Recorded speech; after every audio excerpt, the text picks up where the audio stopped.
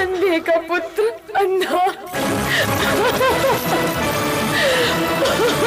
बात जब दूरदर्शन में प्रसारित होने वाले कार्यक्रम महाभारत की होती है तो इस सीरियल के हर एक किरदार का चेहरा बच्चे बच्चे के दिमाग में तैरने लगता है। देव की सौगंध! यदि ये मेरे प्रिय युधिष्ठिर के राजसूय का समारोह न होता तो मैं तेरी जीप काट। चाहे वो भीष्म पितामह हो दुर्योधन भीम अर्जुन कर्ण या श्री कृष्ण प्रश्न ये नहीं है कि कौन पुत्र है और कौन पुत्र नहीं है। प्रश्न है धर्म और अधर्म का। इन्हीं के बीच एक ऐसा भी किरदार था जिसके इर्द गिर्द पूरे महाभारत की रचना थी और वो थी द्रौपदी। मैं इंद्रप्रस्थ की पटरानी द्रौपदी हूँ। मैं सम्राट युधिष्ठिर का भाला हूँ। द्रौपदी कहते ही सिर्फ़ एक नाम याद आ जाता है रूपा गांगुली। वही रूपा गांगुली जिनके हिस्से में महाभारत का सबसे कठिन और चैलेंजिंग दृश्य आया और जिसे उन्होंने धारदार संवाद अदायगी और मार्मिक अभिनय से बखूबी निभाया। मैं आपसे नातों की बात नहीं कर रही हूँ पितामह। उस अपमान की बात कर रही हूँ। और वो सीन था द्रौपदी का चीरहरण। अभिनय की दुनिया में रूपा गांगुली नई नहीं थी पर द्रौपदी बनकर उन्हें ऐसा स्टार्डम मिला कि सिनेमाई दुनिया के लोग भी हैरान रह गए।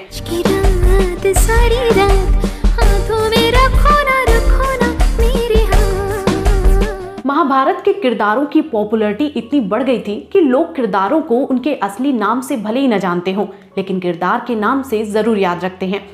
आखिर बी आर चोपड़ा जैसे दिग्गज अभिनेता ने रूपा गांगुली को ही क्यों चुना?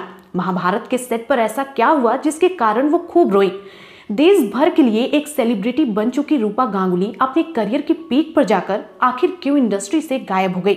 और बताएँगे वो वाक्य जब 20 लोगों की हिंसक भीड़ ने न सिर्फ़ रूपा के साथ छेड़खानी की, बल्कि उन पर इतनी बेरहमी से हमला किया कि उनका ब्रेन हैमरेज तक हो गया। जब भी दूरदर्शन की बात होती है, इनके अनगिनत धारावाहिकों में रामायण और महाभारत पहले पायदान पर खड़े नज़र आते हैं। पर अभी हम बात करते हैं महाभारत में द्रौपदी के किरदार में रच बस जाने वाली रूपा गांगुली की।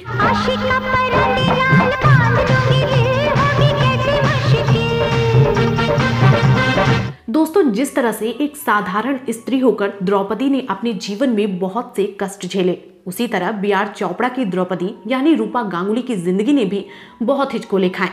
कभी सफलता और शोहरत की ऊंचाई देखने वाली इस एक्ट्रेस ने वो वक्त भी देखा जब ये अपने ही घर में पाई पाई को मोहताज हो गई थी। रूपा गांगुली का जन्म 25 नवंबर 1966 को पश्चिम बंगाल में कोलकाता के पास कल्याणी नामक जगह में हुआ था। उनके पिता का नाम समरेंद्र लाल गांगुली और माँ का नाम ज्योतिका गांगुली था।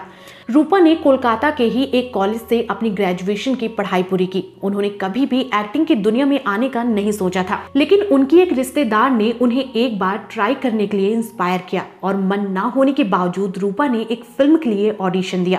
और वो उसमें सेलेक्ट हो गई। और इस तरह से वो जाने अनजाने फ़िल्मों में आ गई। उन्होंने हिंदी के अलावा बंगाली फ़िल्म और टीवी शोज़ में भी काम किया।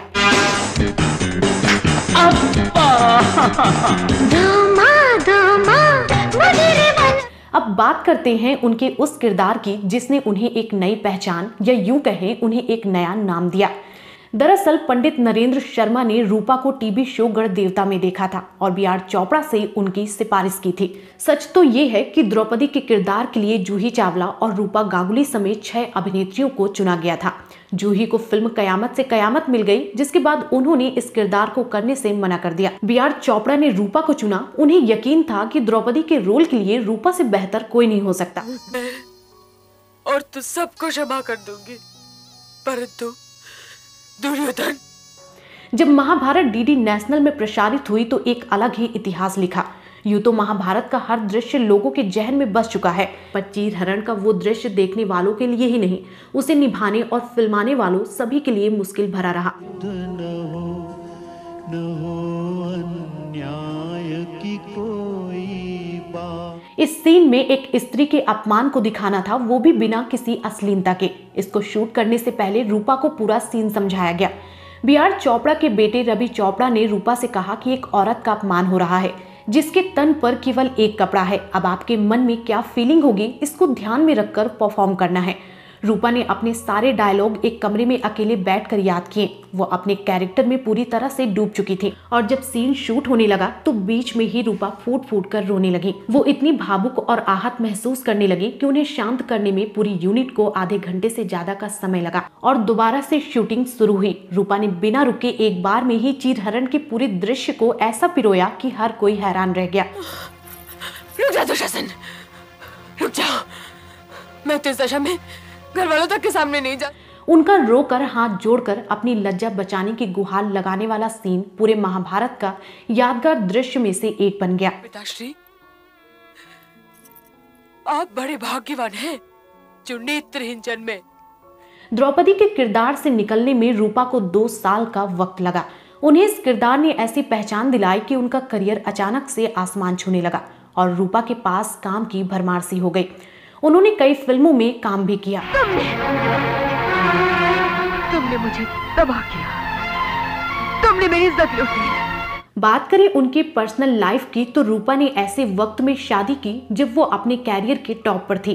1992 में उन्होंने मैकेनिकल इंजीनियर ध्रुव मुखर्जी से शादी की और एक्टिंग छोड़कर अपने गृहस्थ जीवन में व्यस्त हो गए। शादी के कुछ समय बाद ही उनकी पर्सनल लाइफ में परेशानियाँ बढ़ने लगी। रियलिटी शो सच का सामना में रूपा ने अपनी ज़िंदगी को लेकर कई बड़े खुलासे किए। उन्होंने कहा कि उनके पति उनसे काफ़ी इनसिक्योर फील करने लगे थे, क्योंकि रूपा एक सेलिब्रिटी बन चुकी थी और उनका एक स्टार्डम था।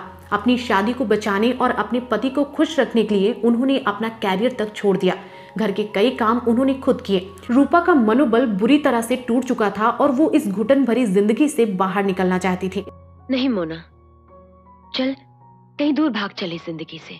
इसके बाद 2009 में उन्होंने औपचारिक तरीके से अपने पति से तलाक ले लिया। इसके बाद रूपा का नाम अपने से 10 साल छोटे देवेंद्र मुखर्जी के साथ जुड़ा, लेकिन ये भी ज़्यादा दिनों तक नहीं टिक पाया। 2015 में रूपा एक्टिंग से पॉलिटिक्स में आ गई और उन्होंने बीजेपी ज्वाइन कर ली। पिछले आठ साल के सियासी सफ़र में ऐसे कई मौके आए, जब रूपा गांगुली के साथ न सिर्फ़ अभद्रता की गई, बल्कि सरेआम उनके साथ छेड़खानी भी हुई। एक सेलिब्रिटी और नेता होने के बावजूद भी उन्हें एक ऐसी घटना का सामना करना पड़ा, जिसकी उन्होंने कभी कल्पना नहीं की थी।